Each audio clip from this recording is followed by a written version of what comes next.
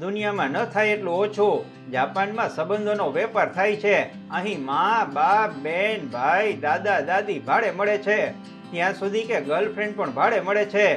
કાયદેસર રીતે મળે છે, ઓફિશિયલ મળે છે અને સરકાર માન્ય કંપનીઓમાંથી મળે છે. ગર્લફ્રેન્ડની વાત સાંભળીને ગલગલિયા થવા લાગ્યા ને. ઠેક ઠેકાણે લંગરિયા નાખવા છતાં ક્યાંય મેળ ન પડતો હોય તો એને થાય. ગલગલિયા થાય, ઓ ભાઈ. જોઈ લ્યો આ ભાઈને. ઓનલાઈન ગર્લફ્રેન્ડ બુક કરાવીને રસ્તા ઉપર રાહ જોઈને ઊભા છે.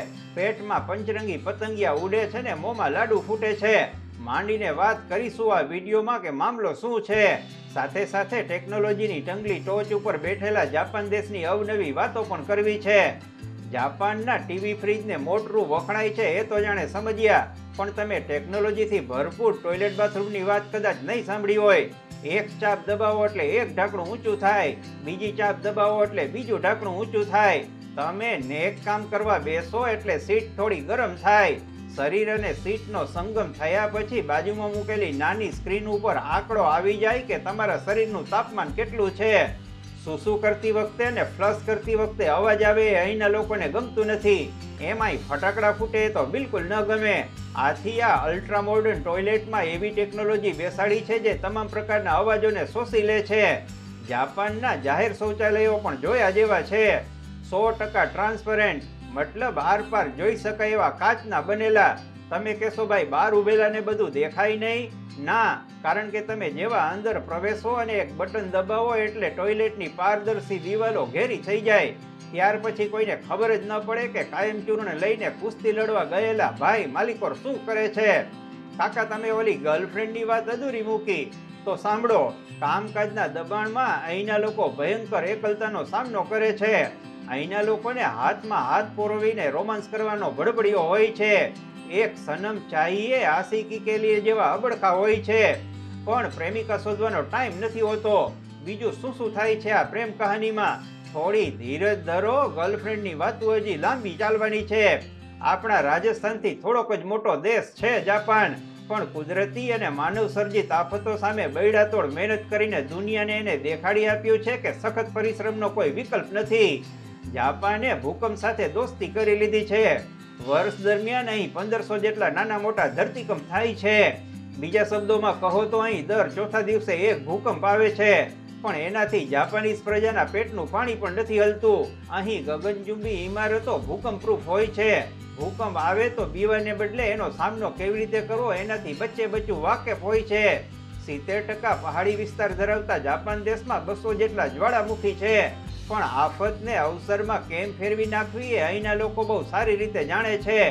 અહીં એક આખે આખો સસલાથી ભરેલો ટાપુ છે, જેને રેબિટ આઇલેન્ડ કહેવામાં આવે છે. દુનિયાભરના પ્રવાસીઓ આ આઇલેન્ડમાં આવીને મહિનાઓ સુધી પડ્યા પાથરિયા રહે છે. સસલાને ખાવાનું ખવડાવે છે, તેની સાથે ગેલગમત કરે છે, વીડિયો શૂટ કરે છે અને સસલાની રહેણી કરણી અને શરીરની રચના ઉપર સંશોધન કરે છે. હરીફરીને તમારે વાત તો પેલી ભાડે મળતી ગર્લફ્રેન્ડની જ સાંભળવી છે ને. ખીચામાં કાવડિયા હોય તો જાપાનમાં તમને વેલ ટ્રેન્ડ ગર્લફ્રેન્ડ મોજે મોજ કરાવી દે છે. એ પ્રેમ કરવાનું નાટક કરતી નથી, પણ પ્રેમ ભૂખ્યા લોકોને શક્ય હોય એટલે નેચરલ હેત મોહબ્બતનો અહેસાસ કરાવે છે. એ તમને વધારે કાંઈ પૂછતી નથી, પણ તમે એને જે પૂછો એના સાચે સાચા જવાબો આપે છે. ઓનલાઈન બુકિંગ વખતે તમે ઉંમર, રસ, શોખ પ્રમાણે ફોટો જોઈને ગર્લફ્રેન્ડની પસંદગી કરી શકો છો. તમે કેટલી ઉંમરના છો, તમે કેવા દેખાવ છો, એની સાથે એને કોઈ નિસ્બત હોતો નથી. એને તો બસ ઘડી બે ઘડી લોકોના જીવનમાં ઉમંગના ઉભરા ઠાલવવાના હોય છે. કંપનીના નિયમ પ્રમાણે તમે એને કોઈ મોંઘી વસ્તુની ગિફ્ટ આપી શકતા નથી. કંપની એને પૂરેપૂરો પગાર આપતી હોવાથી એ તમારી પાસેથી એવી કોઈ અપેક્ષા પણ રાખતી નથી. સાઠ વર્ષની ઉંમરે આ વિષય ઉપર તમે મારી પાસે કેટલું બોલાવશો? જો કે બોલવા બેઠો છું એટલે બોલીશ તો ખરું જ, પણ ઘડીક રહીને. ટેકનોલોજીની દુનિયામાં જાપાન નંબર વન છે. પણ બહુ ઓછા લોકો જાણે છે કે જાપાનની પ્રગતિ થઈ કેવી રીતે?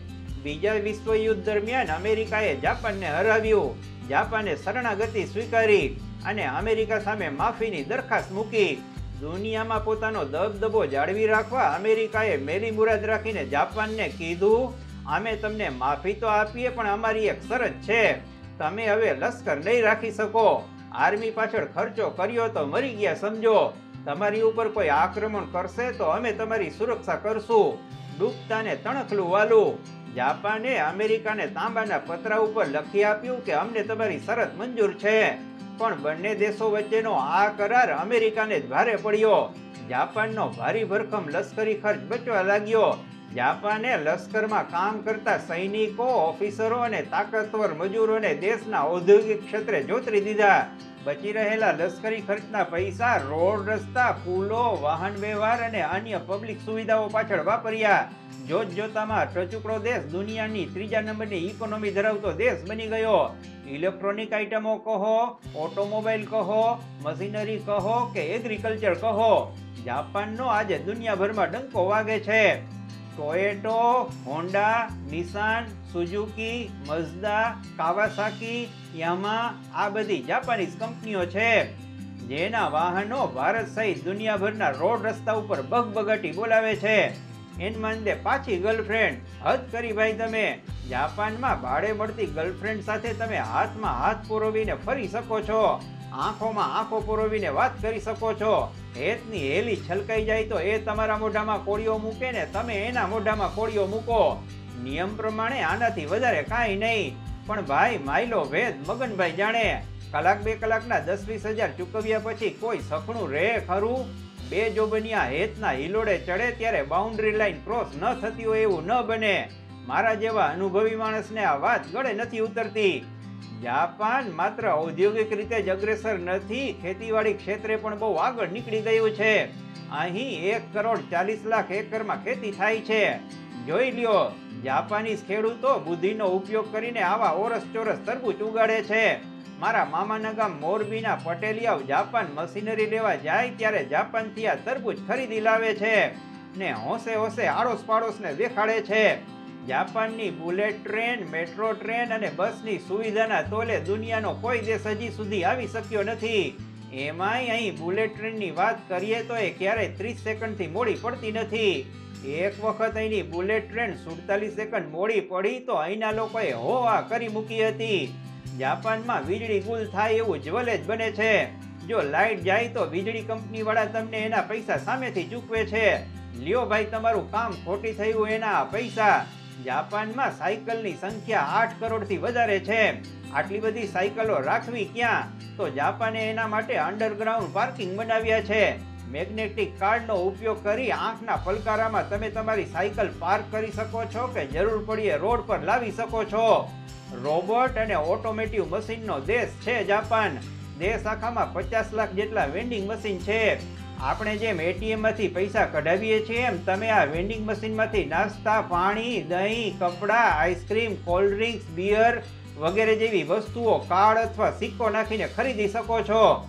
તમે જાપાન ફરવા જાઓ તો ઓસાકા શહેર જવાનું ભૂલશો નહીં. અહીં ઉમેડા વિસ્તારની ગગનચુંબી ઇમારતમાં દુનિયાનું સૌથી લાંબુ એસ્કેલેટર છે. આ એસ્કેલેટરમાં ચડતી ઉતરતી વખતે સમગ્ર નગરનો અદ્ભુત નજારો જોઈ શકો છો. એમાંય જો તમે રાતે આ બિલ્ડિંગની મુલાકાત લ્યો તો મોજે દરિયા થઈ જાય. મહિલાની સલામતી માટે જાપાનની એક ફેક્ટરીમાં બોર્ડ માર્યું છે, જેમાં લખ્યું છે, જો તમે લાંબુ સ્કર્ટ પહેર્યું હોય તો મશીનથી દૂર રહો અને જો તમે ટૂંકું સ્કર્ટ પહેર્યું હોય તો એન્જિનિયરથી દૂર રહો. શું સમજ્યા તમે આમાં? ઠપકારો, કમેન્ટ. ઓલી ગર્લફ્રેન્ડની વધારે વાતો સાંભળવી છે તમારે? ભારતીય કેલેન્ડરમાં જ્યારે ત્રણ શ્રાવણ મહિના આવશે ત્યારે સંભળાવીશ. પણ જો તમે અમારી ચેનલ સબસ્ક્રાઇબ કરો તો. નમસ્કાર.